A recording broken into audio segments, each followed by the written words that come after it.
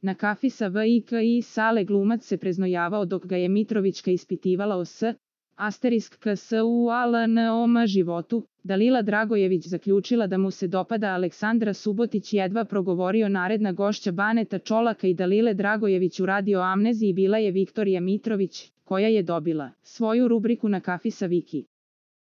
Ona je za svog gosta odabrala Aleksandra Sašu Todorovića, koga je ispitala sve o s, asterisksualnom životu.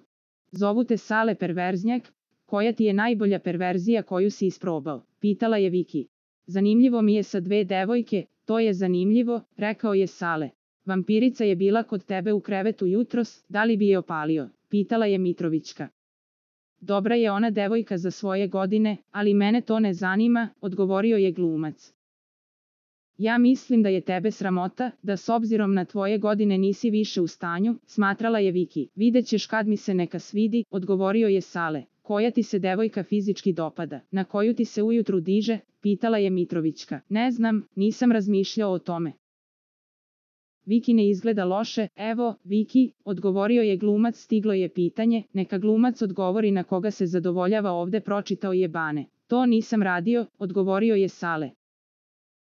Ja mislim da je Sale odlepio za mojom bivšom jetrvom Aleksandrom Subotić, ali on neće da se izjasni, jer je ona zauzeta, prokomentarisala je Dalila.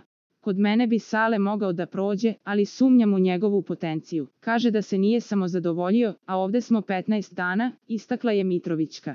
Kad se završi zadruga pet ako Viki bude želela, vodim je na Tenerife, rekao je Sale. To je poziv na S, asterisk KS.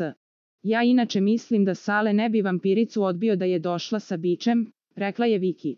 Za najnovije vesti iz realitija estrade kliknite subscribe like i zvonce. Svaki dan najnovije vesti zato nas zapratite.